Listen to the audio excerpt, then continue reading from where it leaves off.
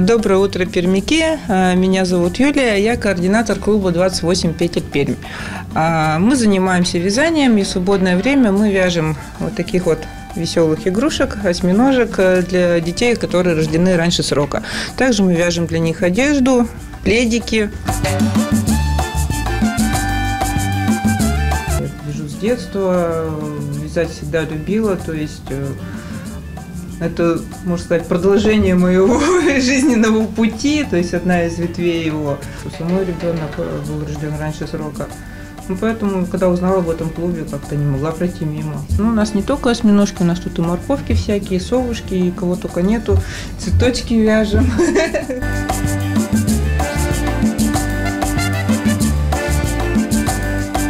Мы вяжем шапочки, вяжем носочки, вяжем э, пледики, кофточки.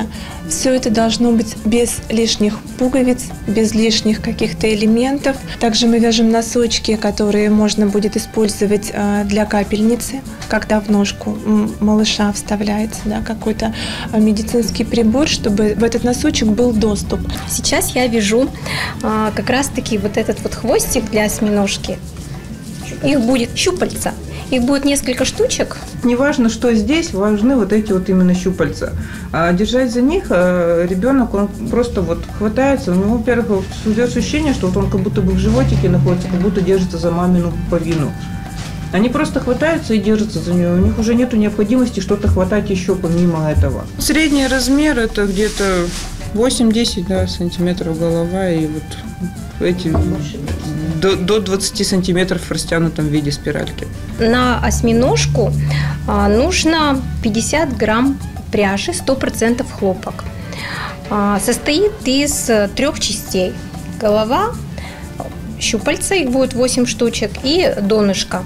И нужен наполнитель, который еще в хлопчатобумажном мешочке должен быть, чтобы он весь э, сквозь дырочки небольшие не просочился. Но Все вещи в отделении, они передаются стиранные уже, то есть это обязательно требование врачей. А плюс еще сами же врачи, они производят обработку, то есть обрабатывают в автоклаве, поэтому такие требования, чтобы там не было синтетических материалов.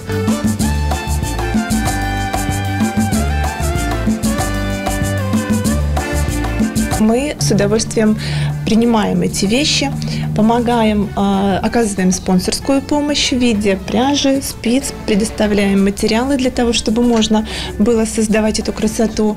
У нас написано в группе, где какие пункты приема, девочки просто сами туда привозят, когда у них есть время. Можно вот также зайти в нашу группу, посмотреть э, пункты приема, да, привезти туда.